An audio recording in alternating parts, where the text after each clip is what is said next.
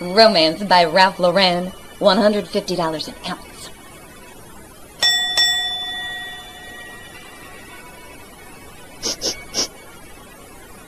Chanel number five, $200 an ounce.